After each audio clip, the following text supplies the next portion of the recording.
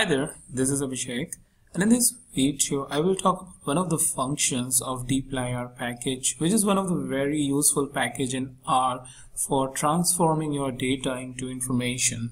So let's go ahead and talk about the topics which are sample underscore n and sample underscore frac which is part of the dplyr package for doing the sampling and with the help of these two functions I, I think uh, it becomes really handy because it picks up the n random observation from the data set or based on the percentage if you are specifying then let's say 60% of random observation then you can use sample underscore frac.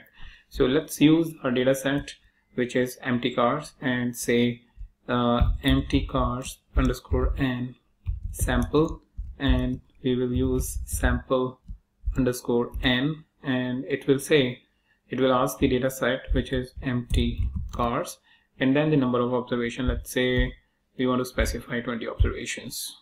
20, so what it will do it will go into the mtcars pick any 20 observations which are random in nature.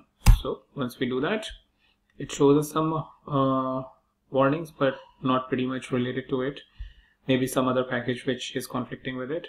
So what I can do is I can show you empty cars underscore and sample. And here you have the sample data for all of the observations and that's split all the random sample. Now let's see it with the help of the frac, sample frac.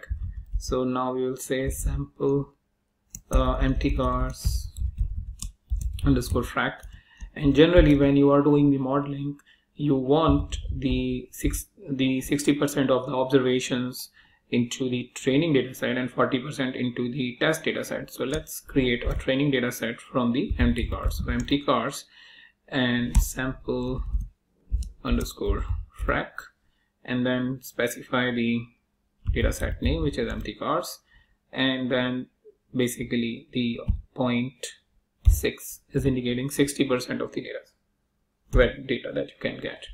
So now if we see mtcars underscore frac this is basically the 60% of the random observations which are coming uh, here in this case.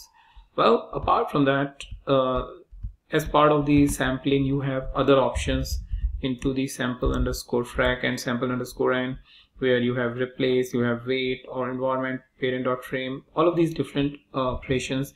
And generally we use replace because sometimes we want to do the sampling with replacement so if that is the case, you need to specify replace is equals to true and by default it is false. So make sure that if you want to do random sampling with replacement, then tune this parameter to t or true to make sure you are getting the right sampling.